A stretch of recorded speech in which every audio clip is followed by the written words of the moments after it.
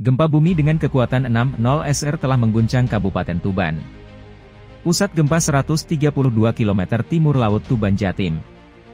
Gempa terjadi pada Jumat 22 Maret 2024 sekitar pukul 11.22 waktu Indonesia Barat. Getaran gempa terasa di Kabupaten Tuban, Bojonegoro, Gresik, Sidoarjo, Surabaya hingga Semarang. Lokasi tepatnya berada di 5,74 Lintang Selatan, 112,32 Bujur Timur di kedalaman 10 km.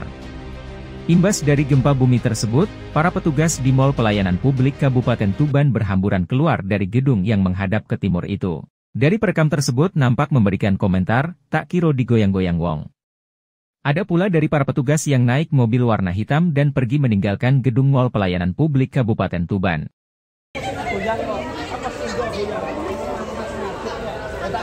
Yang